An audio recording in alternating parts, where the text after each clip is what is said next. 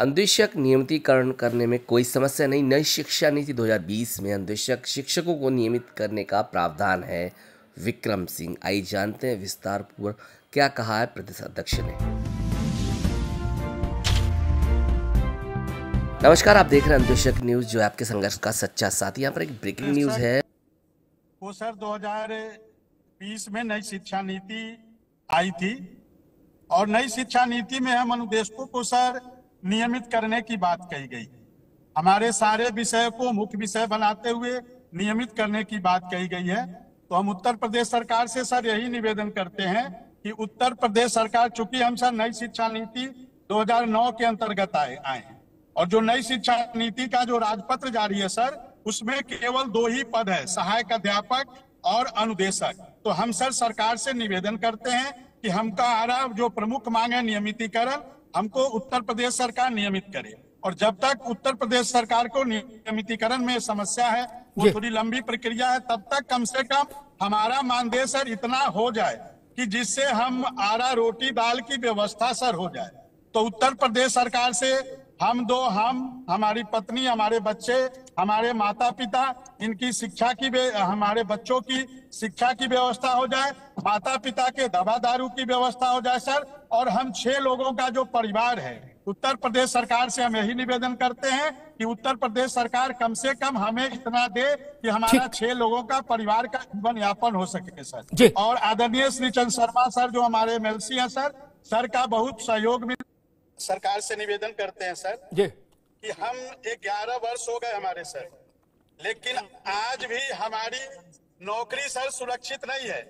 जैसे सौ से एक भी बच्चा कम होता है हमको नौकरी से निकाल दिया जाता है सर। तो हम सरकार से निवेदन करेंगे कि हमारी नौकरी को सुरक्षित किया जाए हमारे जीवन को सुरक्षित किया जाए सर।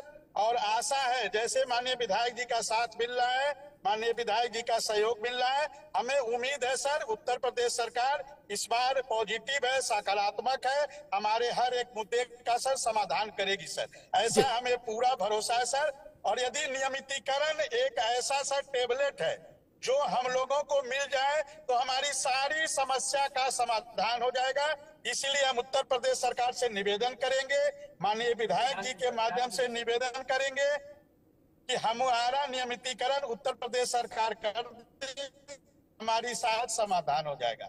सम्मानित साथियों आप जान रहे थे विक्रम सिंह जी के द्वारा जो कि नई शिक्षा नीति के द्वारा बता रहे थे इस नई शिक्षा नीति में अंधोशक शिक्षकों को नियमित करने का प्रावधान है उसमें पॉइंट है और सबसे बड़ी दवा है उनकी अगर नियमितीकरण जैसी टेबलेट उनको मिल जाएगी तो उनकी समस्त बीमारियों का इलाज हो जाएगा उनकी समस्त समस्याओं का इलाज हो जाएगा जो कि अब होना चाहिए।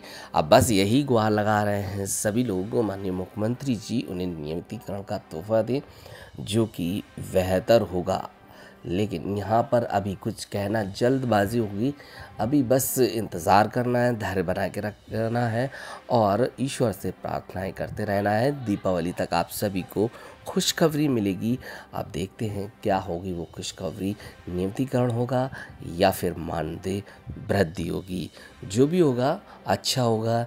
अब ये तय हो चुका है, अब लग रहा है कि कुछ बेहतर होने जा रहा है। अंधेशक शिक्षकों की जीवन में, शिक्षा मित्रों के जीवन में। माननीय मुख्यमंत्री जी, लगातार प्रयासरत है। उन्होंने अपने अधिकारियों को बोल दिया है, लगातार वो इस पर प्रयास कर रहे हैं। उनकी पूरी टीम, जैसा कि आप देख रहे हैं शर्मा जी लगातार लगे हुए हैं। अंत शिक्षा शिक्षा मित्रों को एक करने में और माननीय मुख्यमंत्री जी से लगातार वार्ता करने में, शासन प्रशासन में, वार्ता करने में, इनके संबंध में तो कुछ ना कुछ बेहतर अवश्य होगा, ऐसी हम उम्मीद करते हैं। आप देख रहे थे अपना पसंदीदा चैनल अंदेशक न्यूज़। मिलते किसी और ख़ास अपडेट के साथ। अब तक के लिए अपना ख्याल रखिए। जय हिंद जवाहर वंदे मातरम। सत्य में जयते।